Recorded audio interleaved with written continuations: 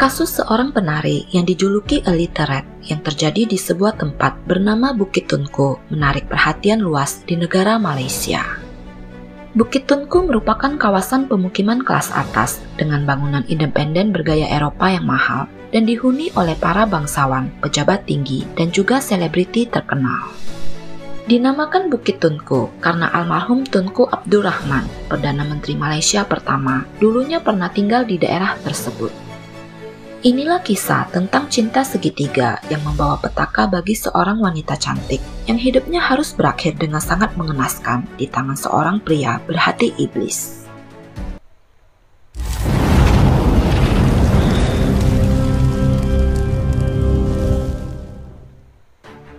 It's Jejelicious Story Time. Halo teman-teman, gimana kabar kalian semua? Semoga sehat dan bahagia selalu ya. Di video kali ini, JST akan menceritakan sebuah kasus yang berasal dari wilayah persekutuan Kuala Lumpur, ibu kota negara Malaysia. Seperti apakah kasusnya? Yuk kita mulai!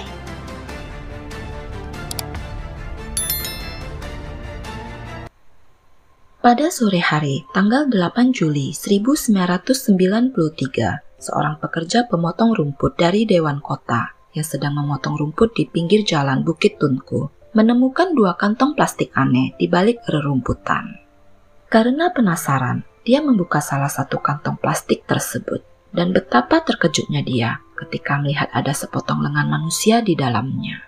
Dengan perasaan ketakutan yang luar biasa, dia segera melarikan diri dari sana dan melaporkan hal tersebut kepada pihak kepolisian.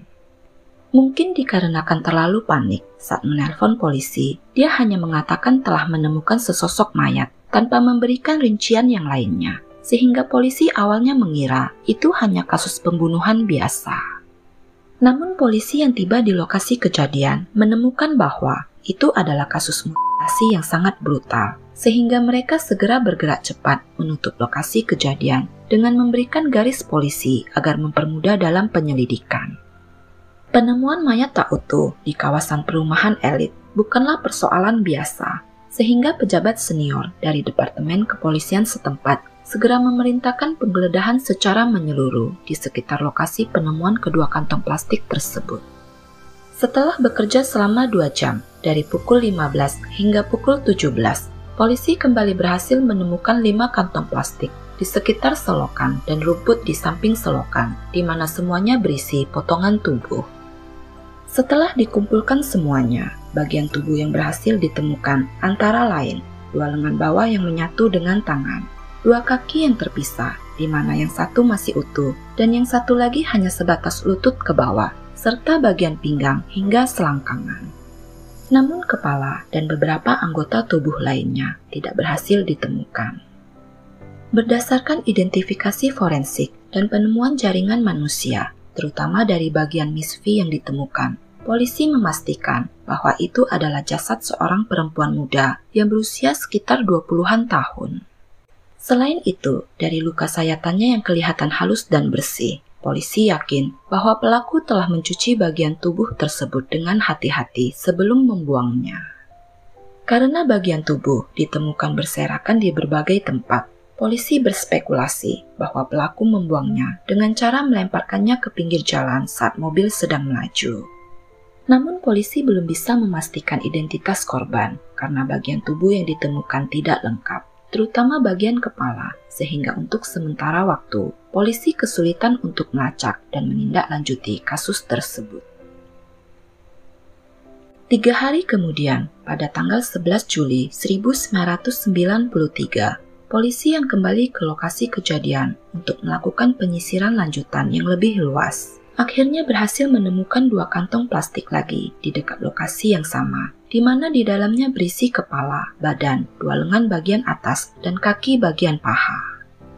Dokter forensik mengumpulkan 11 bagian tubuh yang terfragmentasi dan memastikan bahwa itu adalah milik korban yang sama. Namun dikarenakan belum memiliki teknologi investigasi yang canggih, serta kondisi jenazah yang ditemukan, termasuk bagian kepala yang sudah sangat membusuk, sehingga polisi masih belum mengetahui identitas korban dan hanya bisa mengungkap ciri-cirinya. Antara lain, korban memiliki enam gigi palsu, alis yang dicabut, kuku yang terawat, dan rambut kemaluan yang dicukur. Karena tiada pilihan lain, guna mengungkap kasus tersebut, polisi meminta surat kabar untuk mempublikasikan foto kepala korban dengan harapan ada keluarga dan kerabat dekat korban yang mengenalinya. Foto kepala tanpa mata dengan mulut terbuka lebar merupakan foto paling menjijikan yang pernah dimuat di surat kabar. Banyak orang yang muntah dan mengalami mimpi buruk setelah melihat foto tersebut. Semua orang mengutuk pelaku kejam yang begitu tega menghabisi dan membagi-bagi tubuh korban yang diketahui merupakan seorang wanita tersebut. Petugas penyidik kasus ini kemudian mendapat ide untuk pergi ke Central Art Square mencari Amiruddin, seorang pelukis Melayu jalanan yang sering tampil di sana untuk membantu dalam pengungkapan kasus ini. Setelah melihat foto kepala korban yang diberikan polisi dan pergi ke kamar mayat untuk melakukan pemeriksaan dengan cermat terhadap ciri-ciri wajah korban. Dengan imajinasinya, Amiruddin menghabiskan waktu lebih dari 4 jam untuk membuat sketsa foto imajiner penampakan wajah korban semasa masih hidup. Gambar yang dibuat Amiruddin menjadi salah satu kunci penting polisi dalam mengungkap kasus ini.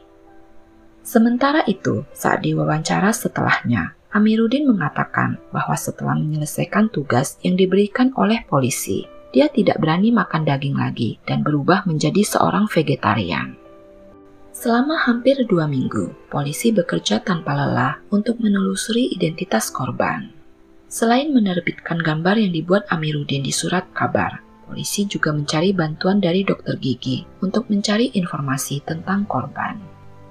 Semua upaya polisi akhirnya membuahkan hasil karena beberapa hari sebelum identitas korban berhasil terungkap, seseorang yang tinggal di Pasar Baru menelpon polisi untuk melaporkan bahwa salah satu penyewanya yang bernama Chayose telah hilang selama beberapa hari. Awalnya dia mengira mungkin wanita itu melarikan diri karena tidak mau membayar sewa. Namun setelah melihat gambar yang dimuat di surat kabar, dia merasa korban mirip dengan penyewanya tersebut. Polisi langsung bergerak cepat dengan mengirimkan petugas ke salah satu ruko yang berada di Jalan Pasar Baru untuk melakukan penyelidikan. Namun dikarenakan pintunya terkunci, sehingga polisi tidak memiliki pilihan lain selain mendobrak masuk. Setelah dilakukan penggeledahan, polisi menemukan foto artistik Chayose berada di kamar dan berhasil mendapatkan sebuah alamat dan nomor kontak saudara laki-lakinya yang berada di Kota Baru, ibu kota negara bagian Kelantan. Namun karena saudaranya tersebut tempat tinggalnya terlalu jauh, sehingga polisi diminta untuk menghubungi saudara perempuannya yang tinggal di kota Petaling Jaya, negara bagian Selangor. Pada tanggal 20 Juli 1993, dengan ditemani oleh polisi, Chai Cindy, kakak Chai Yose, yang bekerja sebagai kasir di sebuah tempat karaoke di Petaling Jaya, pergi ke kamar mayat rumah sakit untuk mengidentifikasi korban. Chai Cindy yang saat itu memang sedang sakit batuk langsung muntah saat dia melihat mayat yang berada di depannya. Untunglah setelah pihak rumah sakit memberikan obat kepadanya, walaupun dengan ragu-ragu, dia berhasil juga menyelesaikan identifikasi terhadap korban yang berada di dalam kamar mayat tersebut. Meski mayat sudah membusuk, namun dari bulu Miss V di bagian bawah tubuhnya yang tercukur, Cindy yakin itu adalah benar adiknya yang bernama Chai Yose. Alasan Yose mencukur bulu Miss V-nya karena dia adalah seorang penyanyi dan penari di sebuah bar karaoke, sehingga dia memiliki kebiasaan merapikan dan mencukur rambut di bagian bawah tubuhnya agar tidak terekspos saat sedang tampil. Dokter forensik kemudian mengambil sampel darah Cindy dan noda darah di tubuh korban untuk dianalisis dan diuji. Dikarenakan tes DNA saat itu belum tersedia di Malaysia, sehingga mereka mengirimkannya ke negara Singapura untuk memastikan apakah darah keduanya cocok sebagai saudara kandung. Pada sore hari tanggal 21 Juli 1993, polisi mengumumkan hasil penyelidikan membenarkan bahwa identitas mayat tersebut adalah bintang bar dan karaoke terkenal Chai Yose yang memiliki nama panggung Itian Hong atau A Little Red. Di saat yang sama, polisi juga menghubungi seorang pria yang bernama He Cheng Kun dan berharap agar mantan suami yang telah bercerai dari Yose selama dua tahun ini dapat membantu polisi dalam penyelidikan lebih lanjut.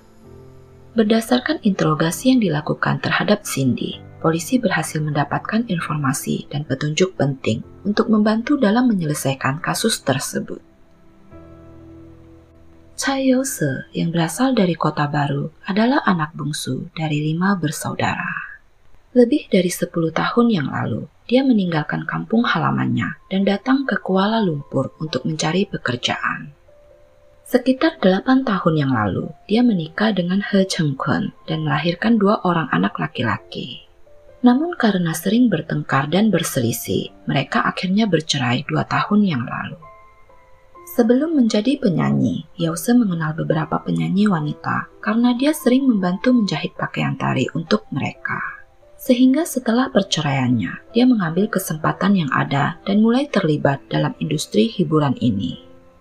Setelah mengatur agar kedua putranya disekolahkan di panti asuhan, dia pun mulai mengabdikan dirinya untuk bekerja sebagai penyanyi di bar. Karena Yose bisa menyanyi, menari, dan bermain piano, Chayose sangat terkenal di bar dan karaoke tempatnya bekerja. Untuk memudahkan pekerjaannya, dia kemudian mengontrak di sebuah ruko yang berada di pasar baru. Sekitar sebulan sebelum insiden terjadi, pada tanggal 15 Juni 1993, Yose bekerja sama dengan Cindy dan teman-temannya untuk membuka sebuah tempat karaoke di Parade Garden, Petaling Jaya.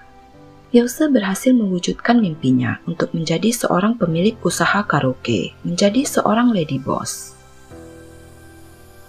Pada tanggal 10 Juli 1993, Cindy menerima pesan yang dikirim oleh Yose yang isinya secara singkat menyatakan bahwa dia dan teman-temannya akan pergi ke Penang selama lebih dari 10 hari. Walaupun gaya penulisan Yose berbeda dari biasanya, tapi Cindy tidak terlalu menaruh kecurigaan saat itu. Hubungannya dengan adiknya sangat dekat. Yose akan selalu memberikan kabar kepadanya setiap mau pergi ke suatu tempat untuk tampil. Sehingga saat menerima pesan tersebut, dia percaya begitu saja. Sebagai seorang penyanyi dan penari di sebuah bar karaoke, polisi menganalisis bahwa Yose pasti berinteraksi dengan banyak pria. Kemungkinan kematiannya ada kaitannya dengan mereka. Cindy mengatakan bahwa adiknya memiliki hubungan dengan seorang pria beristri. Diketahui bahwa istri kekasihnya itu pernah datang menemui Yose dan mengancam akan mencarinya menjadi tujuh hingga delapan bagian. Perselisihan emosional ini merupakan petunjuk yang sangat penting bagi polisi dan kemungkinan besar akan menjadi kunci penyelesaian kasus ini. Apakah kematian Yose ada hubungannya dengan istri pria tersebut? Chai Yose yang pertama kali debut sebagai A Red saat berusia 30 tahun adalah seorang bintang populer di karaoke lounge Golden Key. Untuk lebih meningkatkan kemampuan menyanyinya, dia mengambil pelajaran vokal dari seorang pianis asal kota Seremban yang bernama Yen Wei Sheng. Wei Sheng yang berusia 33 tahun pernah belajar teologi di negara Singapura dan melayani sebagai seorang misionaris jangka pendek karena hampir setiap hari bertemu, di mana yang satu adalah seorang janda muda yang kesepian, dan yang lainnya adalah seorang penyendiri yang terlihat lembut dan anggun, sehingga mulai terjadi percikan cinta di antara mereka. Hubungan antara guru dan murid berubah menjadi hubungan antara sepasang kekasih. Namun sayangnya, lebih dari dua bulan sebelum kematian Yose, Weisen memutuskan untuk menikah dengan wanita lain sehingga hal tersebut membuat Yose marah dan memaksanya untuk menceraikan wanita itu dan menikahinya. Dari awal Weiseng memang tidak berniat sama sekali untuk menikahi Yose, dikarenakan statusnya sebagai seorang penari, menikahinya hanya akan membuat reputasi Weiseng menjadi buruk. Sejak saat itu, hubungan di antara mereka pun berubah menjadi cinta segitiga. Setelah mengetahui tentang hal tersebut, polisi kemudian memfokuskan penyelidikannya terhadap Wei Seng. Pada tanggal 21 Juli 1993, di hari yang sama saat polisi memberikan konfirmasi identitas korban, Wei Seng menyatakan kesediaannya untuk bekerja sama dengan polisi dalam penyelidikan tersebut. Sekitar pukul 16 sore, dia pun hadir ke kantor polisi untuk menjalani serangkaian interogasi yang dilakukan terhadapnya. Wei Seng mengakui bahwa dia memang berhubungan dekat dengan Yose, namun selama dua minggu terakhir dia tidak melihat maupun bertemu dengan Yose.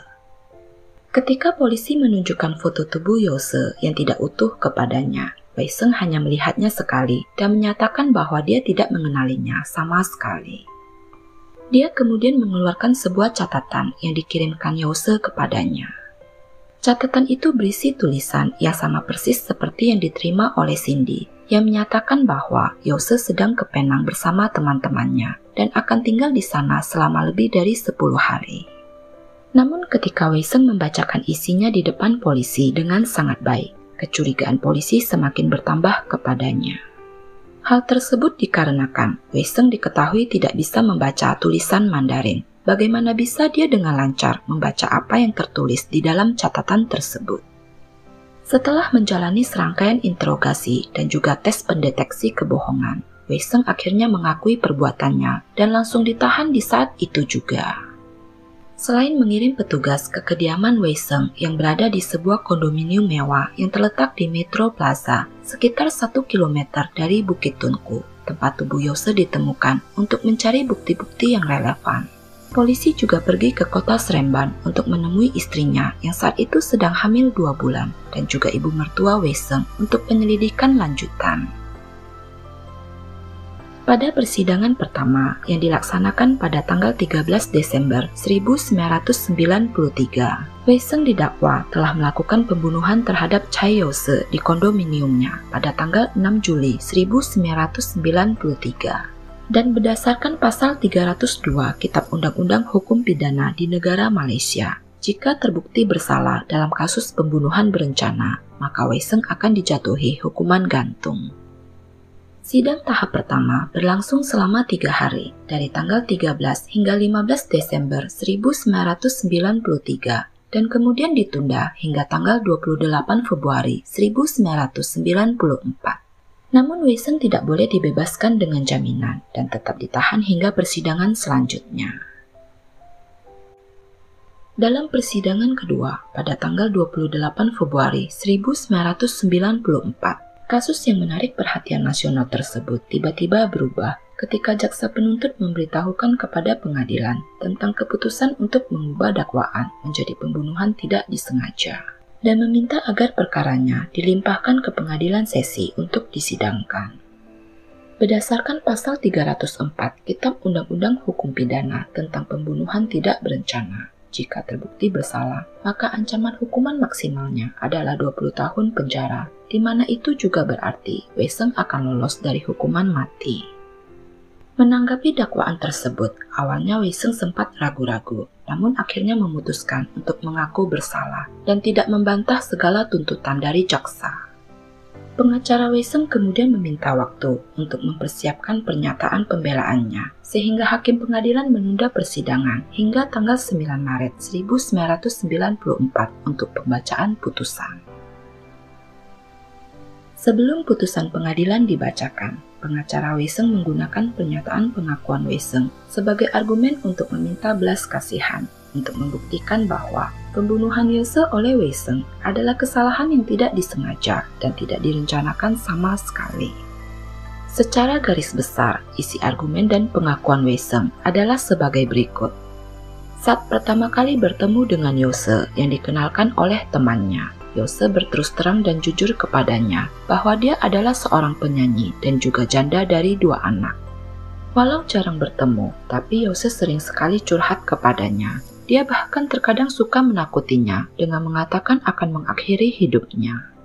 Didorong oleh rasa iba, Weiseng akhirnya mulai menjalin hubungan dengannya. Pada hari kejadian, Wesen menjemput Yose di pompa bensin yang berada di seberang rumahnya, dan kemudian Yose memintanya untuk pergi ke hotel untuk bersenang-senang dengannya. Setelah itu mereka pergi ke tempat tinggal Wesen, karena saat itu istrinya sedang berada di Seremban, sehingga tidak ada orang lain di rumah.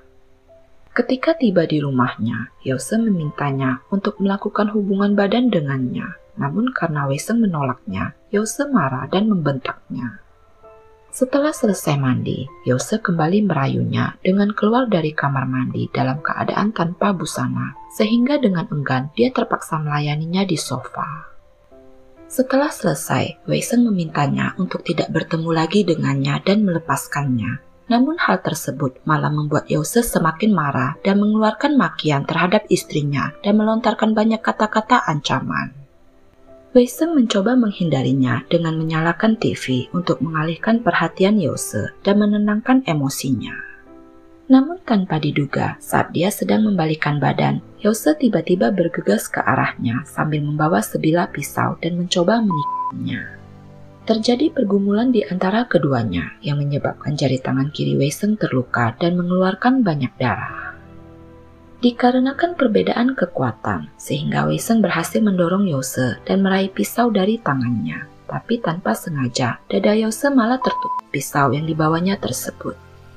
Yose sempat berkata, beraninya kamu membunuh saya sebelum akhirnya menghembuskan nafasnya yang terakhir. Awalnya Wei Seng sempat berpikir untuk menelpon polisi, namun dia tidak berani melakukannya karena Yose sudah meninggal. Dia pasti akan mendapat masalah besar apabila polisi berhasil mengetahuinya. Karena panik, satu-satunya yang ada di dalam pikirannya saat itu adalah menghilangkan barang bukti dengan cara membuangnya. Dia kemudian mengambil pisau dapur tadi yang memang bermata tajam dan mulai membuangnya menjadi sebelas bagian. Untuk mempermudah dalam membuangnya, dia membagi sebelas bagian itu menjadi potongan-potongan yang lebih kecil dan kemudian memasukkannya ke dalam beberapa kantong plastik. Usai membersihkan rumah sekitar pukul 20 lewat 30, Wesen memarkirkan mobilnya di dekat lift. Lalu kembali ke rumah dan memindahkan beberapa kantong tersebut ke belakang mobil sebelum berkendara menuju ke Bukit Tunku dan melemparkannya satu persatu ke arah rerumputan di sana. Dia kemudian kembali ke rumah dan memasukkan sisa kantong plastik tersebut ke dalam mobil, menuju ke lokasi yang sama dan membuangnya agak jauh dari sana. Setelah pulang ke rumah, sebelum mandi dan pergi tidur, dia membakar kartu identitas Yose dan membuangnya ke dalam toilet terlebih dahulu. Malam itu adalah malam yang sangat panjang dan menyedihkan karena saya memikirkan tentang nyawa manusia yang telah diambil oleh tanganku. Begitulah akhir dari pengakuannya. Pengacara Weiseng menggunakan pengakuan ini untuk memberikan kesaksian bahwa Yose berulang kali mendesak Weiseng untuk menceraikan istrinya dan menikahinya secara resmi.